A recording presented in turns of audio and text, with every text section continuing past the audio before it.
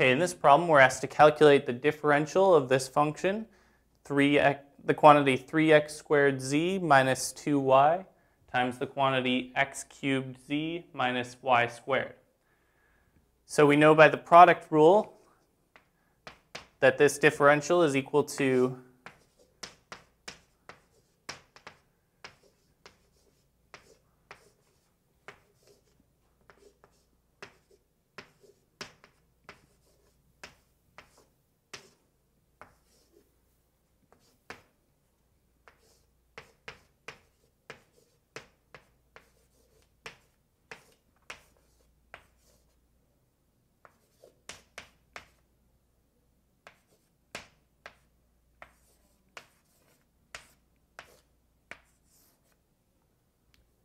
is equal to the first term times the differential of the second term plus the second term times the differential of the first. So we can take, so this is just going to remain.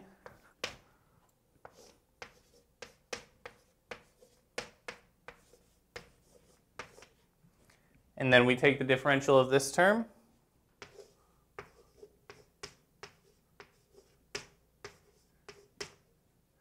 First term is 3x squared z dx minus 2y dy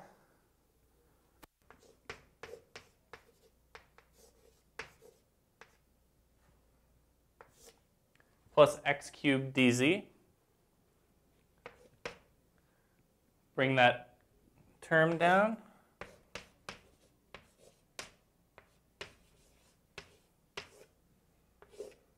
And then we're going to take the differential of the first term.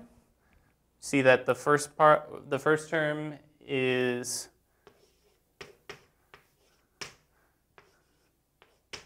six xz dx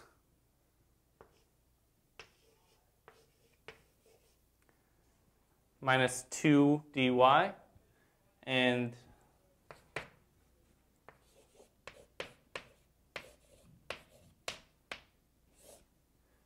3x plus 3x squared dz.